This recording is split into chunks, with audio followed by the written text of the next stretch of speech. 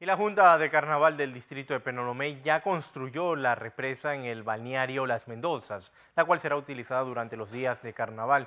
Esta represa tiene como función subir el nivel de las aguas del río Zaratí, lugar donde se realizan los tradicionales desfiles acuáticos cada año. Los organizadores indicaron que la tarima de presentaciones ya se encuentra también preparada y para este año se espera la participación de unas ocho balsas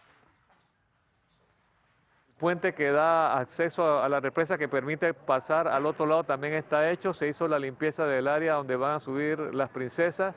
Ya se está a punto de confeccionar el escenario donde van a subir las princesas también. Eso se está trabajando todos estos días.